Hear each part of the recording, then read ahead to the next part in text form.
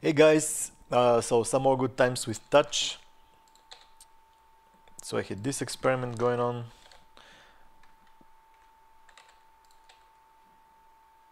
And uh, yeah, I wanted to do something like this for a while. Uh, just the idea is that there is a solid flat color on the polys and the rest is pretty much to make it look a bit more interesting. And it was uh, it was quite actually quite interesting just getting there. So I'm gonna um, talk a little bit about that, kind of show you uh, what I came across, and I will stop it in the background just because it's a bit distracting.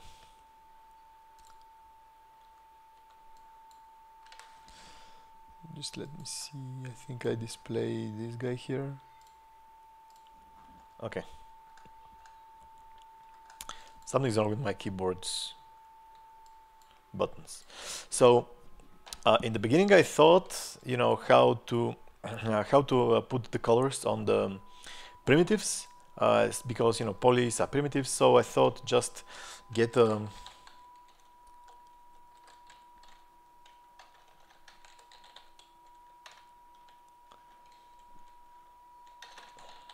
get a primitive node uh, because if you when, when you go assigning colors to the to the points you get you get smooth colors. And I wanted to, to have solid colors. So I just thought you know I can go to the primitive and I can um, create a new color like this. And I could simply say um,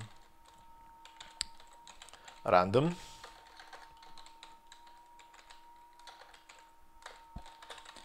And I could say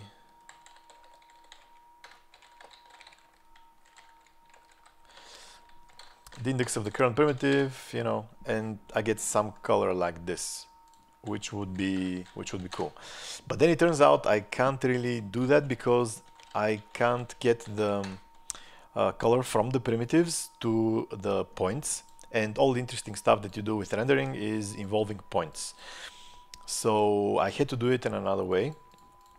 And what I figured is that uh, um, to get like uh, to get a flat color by by some like a flat data value by um, for each normal it would uh, I, I could get it from uh, flat normals. So the facet node has an option which says unique points. So what happens here is that um, first you have to be aware that touch does not have a mechanism to do um, to deal with uh, the smoothing of the normals separately from the from the vertices. So uh, if you, if uh, two polys share verts, their normals are going to be smoothed, and that's not something that I wanted. So here the unique points option is actually breaking off each poly's verts um, on off onto their own. So in the neighboring polys, you're, you're going to have the neighboring verts actually broken off, and you're going to have two verts uh, for each uh, of the old verts and the, the new verts are going to be shaping up the, the new polys. So basically the polys do not share verts together. So this is giving me a flat uh, plane, a flat color for each of the um, of the polys. So then I can use this flat value for each poly to do a UV lookup. And um, I, I go to, I take these values out in a SOP uh, in a top to chop, sorry, and then I do a, a UV lookup with a top to chop to a color, and I what do I do here? Nothing. Okay, so yeah, this was just in case. So then I can return these values to the primitive with um, uh, chop to sop. You can see here I have the color, uh, the, the, the inputs, the outputs, and there you go. I have the um, the flat colors by, by poly. But if I skip a couple of these things here. So if I then start to deform, you can see that the whole thing is breaking up just because previously we had um, broken off each poly in uh, each poly's verts separately just so because we can do this uh, flat stuff. So to be able to deform it, then I need to reverse uh, that process back. So I have to uh, use another facet node and there I have the consolidated normals. So once this is done, then I can uh, deform it and it's gonna stay flat, uh, stay, uh, I mean, uh, it's not gonna break. And you can see that the normals are again the smooth from surface. So, you know, there is no way that I have uh, found which is giving me, you know, the flat normals. But still it's not breaking, which is nice. Uh, so then the rest of it is simply just some things to make it look a bit nicer. I have added uh, noisy rotations on the transform and yeah, just you can always add some noise on some features and make the whole thing looks look interesting. Uh, then some noise for the displacement. Then I have uh, broken off another branch and I have created a wire, which is also a thing that you can do in um, in the, on the material level.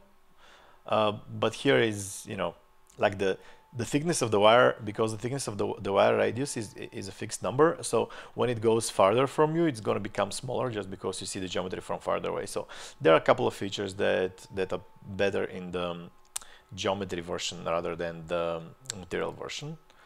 Uh, it's a bit heavy on the geometry side but if your polygons not too many it's okay. You still you, you can see I'm still uh, being like comfortably real time here and I have merged these uh, things together uh, because I wanted to clear the color for the wireframe.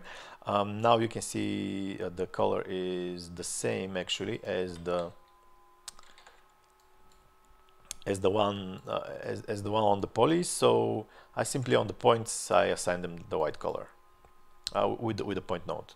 So which is allowing me to you know assign a property per uh, for all these points so uh, then I have I merge them back together and I send it to geometry comp where I give them a constant shader, which is what I want to have uh, for the flatness.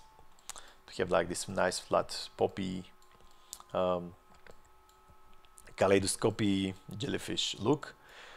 And then I move the camera around uh, with some noise too, just because it's fun, you know, so to, to, to make it a bit more dynamic, a bit more moving and then I do some um, glowing of the uh, wireframe.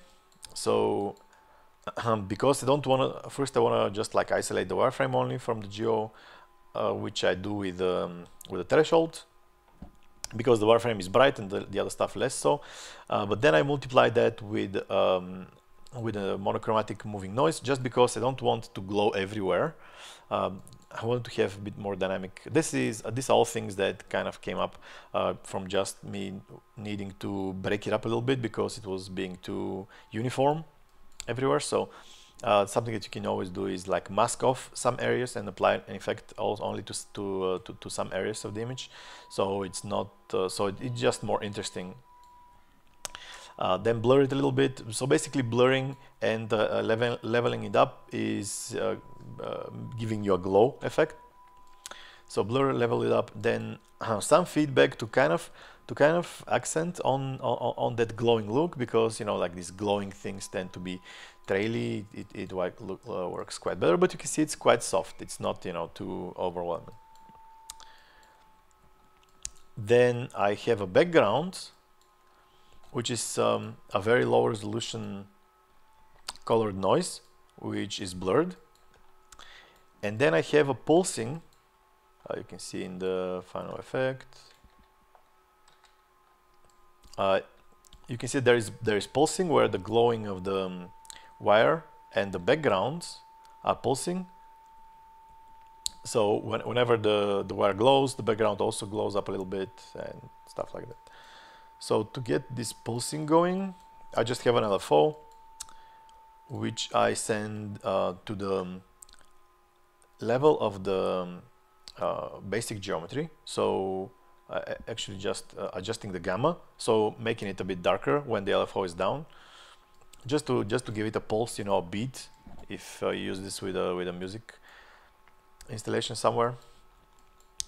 And then I also use this LFO to drive levels on that um, on the background. Again, a gamma node, and I'm just adjusting. Uh, you can see here I have some expression because I want to kind of calibrate the uh, the the results just multiply it by something and uh, shift it up and I just calibrate with the, with the other level I just calibrate to the um, to the amount of stuff I need at the background like if I need more background I could do it like this but I felt that you know it needs to be just filling up something so that's an environment but not overwhelm the main effect. And at the end this is the kind of thing that you end up with. Um, it's it's kind it's kind of fun. I'm enjoying it. Okay so I'm gonna post a link to the um, file in the video description and yeah see you next time